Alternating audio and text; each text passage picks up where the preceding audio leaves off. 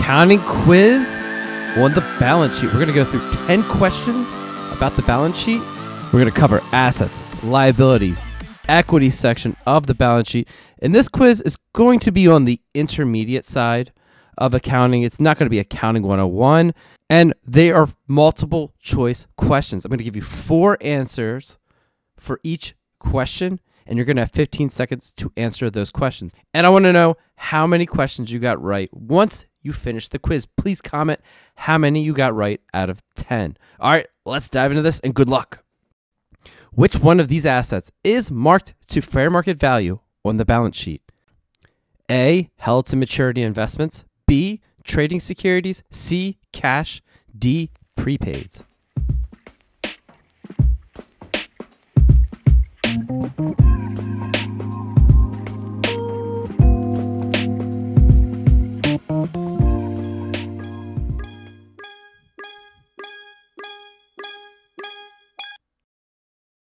The answer is B, trading securities.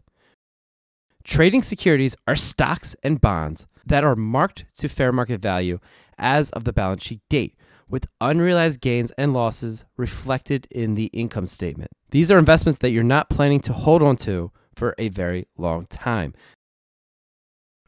Herodotus receives $100,000 in pre sale cash for his new book that will be released and delivered next quarter. The $100,000 should be recorded as A, unearned revenue, B, accounts receivable, C, retained earnings, D, prepaid expenses.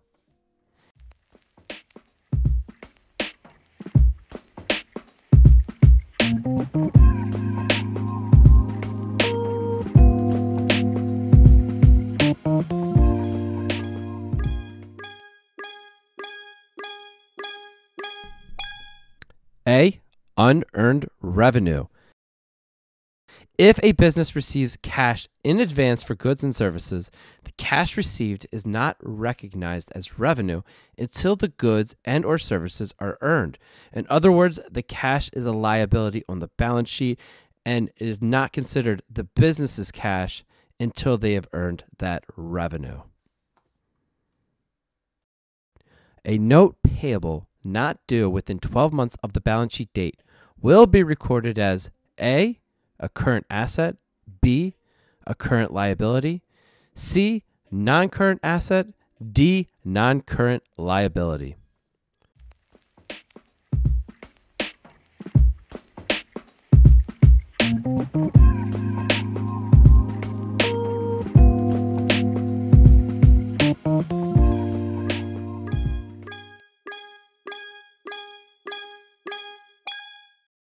D. Non current liability. A note payable is a written promise to pay. In other words, it's considered a promissory note from a legal standpoint.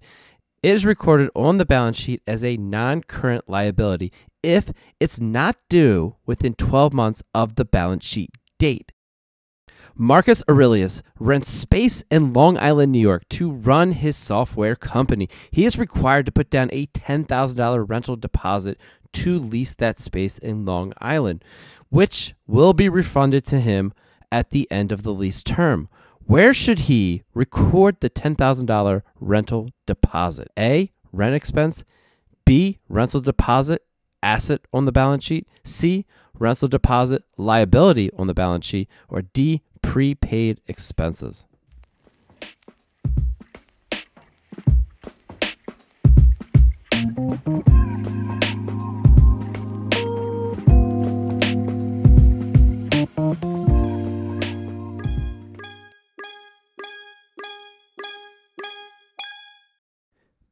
B. Rental deposit asset on the balance sheet. Since the rental deposit is refundable at the end of the lease, it will be recorded on the balance sheet as an asset. In other words, we expect to recoup the cash from the landlord once the lease term is over. If you've gotten any value out of this video so far, please smash that like button and consider subscribing. All right, let's continue with the accounting balance sheet quiz. When an invoice is entered through accounts payable and then processed, you generally will be debiting what general ledger account when the payment is made? A. Cash. B. Prepaids. C. Accounts receivable. D. Accounts payable.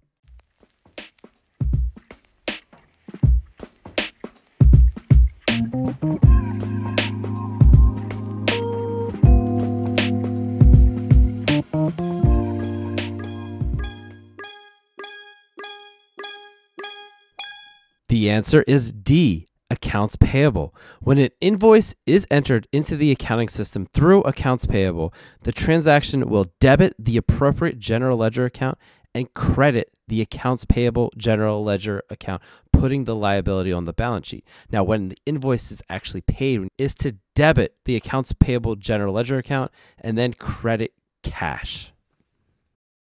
Augustus owes his staff $30,000 of earned bonuses as of 12/31/25. He will pay them out in first quarter 26. Where would you find the bonuses on the balance sheet as of 12/31/2025? A, under current assets, B, current liabilities, C, non-current assets, D, non-current liabilities.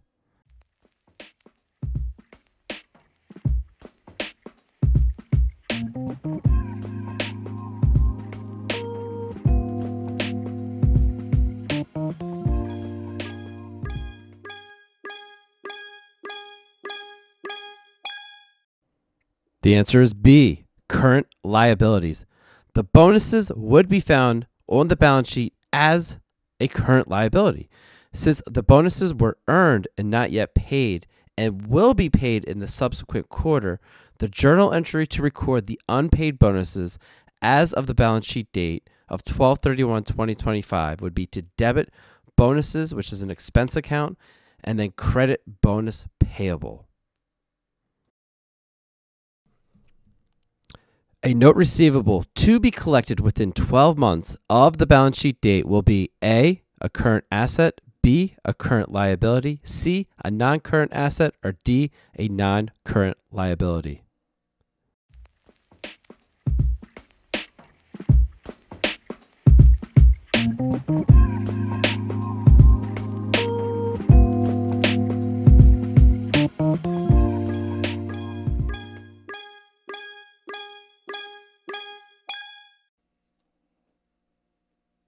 A, a current asset. A note receivable is a financial asset that represents a written promise from a debtor. Again, this is a promissory note from a legal standpoint. In accounting, a note receivable is classified as a current asset if it is due within 12 months of the balance sheet date. When issuing stock at a price greater than the par value of the stock, the difference between the price issued and the par value is recorded as A, retained earnings, B, par value stock, C, additional paid in capital, D, treasury stock.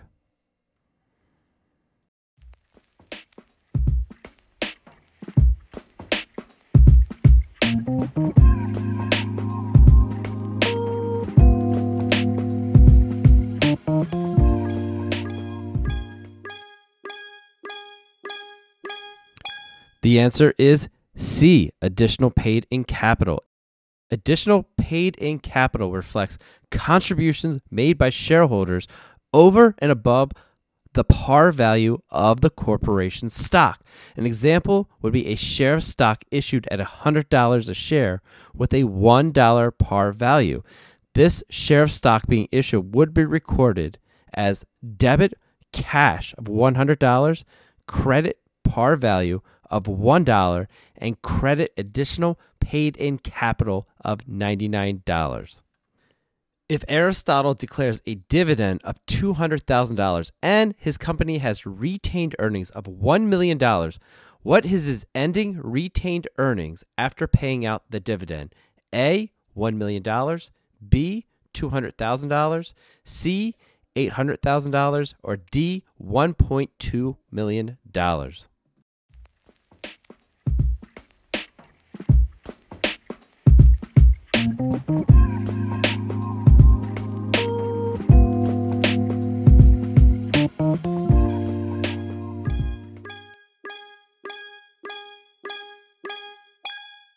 Answer is C, $800,000. If we do a mock up of the calculation, we take retained earnings of $1 million, subtract the dividend that was paid of $200,000, our ending retained earnings balance is $800,000.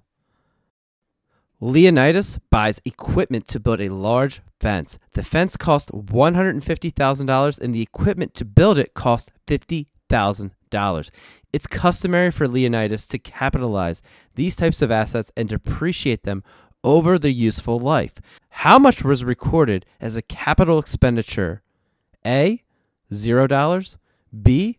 $50,000, C. $200,000, or D. $150,000.